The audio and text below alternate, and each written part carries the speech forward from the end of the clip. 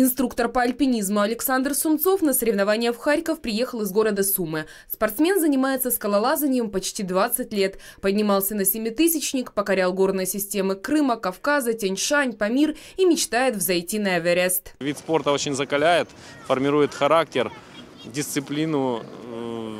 И благодаря этому спорту, в принципе, я знаю, что многие люди сформиров... которых сформировался этому спорту характер, вот они в жизни чего-то добиваются. Это действительно так. Кубок имени Игоря Свергуна проходит уже в третий раз. Четыре года назад харьковские альпинисты и еще 10 участников международной экспедиции были расстреляны пакистанскими боевиками у горы Нанга-Парбат. В память о погибших и проводят соревнования. В этом году на скалодроме приготовили четыре трассы, имитирующие реальный рельеф при восхождении. Есть трасса, связанная со льдом, ну, имитация восхождения по ледовому маршруту. Есть трасса, связанная со скалолазанием, то есть имитация по скальному маршруту. А также есть веревочный этап, это прохождение перил вертикальных.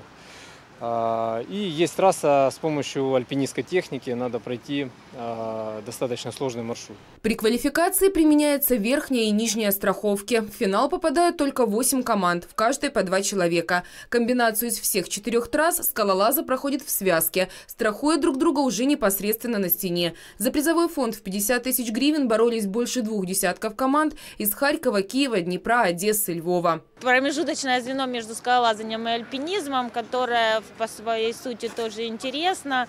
Оно учит логически думать, логически развиваться. И, в принципе, это такая теорема, которую ты должен прорабатывать и уметь ей пользоваться. И поэтому э, в этом плане техника по альпинизму – это так называемые малые горы. Спортсмены такие соревнования называют хорошей подготовкой к сезону восхождений. А уже в ближайшие выходные на Харьковском скалодроме пройдет чемпионат Украины по промышленному альпинизму. Надежда Тофан, Алексей Жучков, медиагруппа «Объектив».